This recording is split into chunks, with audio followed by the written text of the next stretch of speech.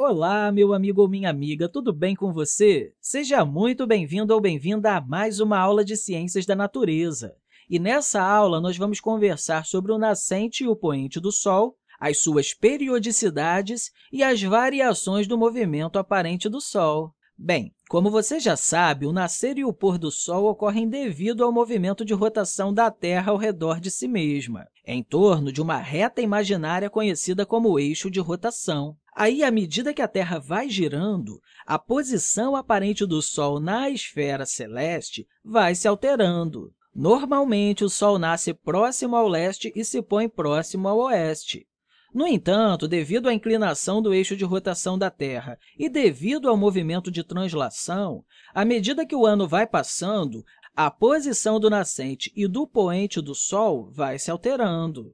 Uma coisa é certa, o Sol sempre vai nascer mais ao leste e se pôr mais a oeste, mas não é sempre que nasce exatamente no leste e se põe exatamente no oeste. Na verdade, isso só acontece em dois dias ao longo do ano. Inclusive, nesses dias ocorrem o que nós chamamos de equinócios.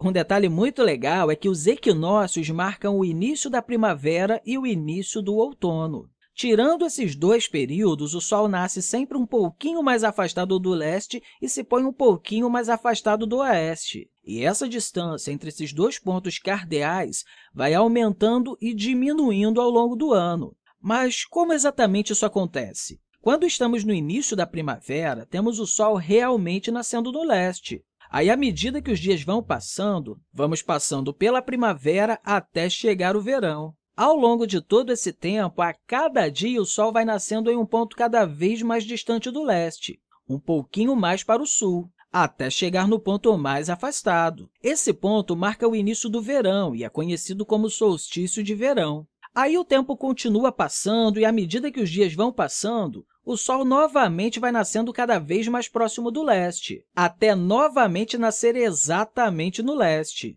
Esse dia marca o início do outono e é conhecido como equinócio de outono. Aí os dias continuam passando e cada dia o Sol vai nascendo mais ao norte do leste, até chegar em um ponto em que ele nasce bem distante do leste, e que, inclusive, temos o início do inverno. Por isso que, nesse dia, nós vamos ter algo conhecido como solstício de inverno. Após esse dia, o Sol vai voltar a nascer cada vez mais próximo do leste, até chegar o dia em que ele novamente nasce exatamente no leste.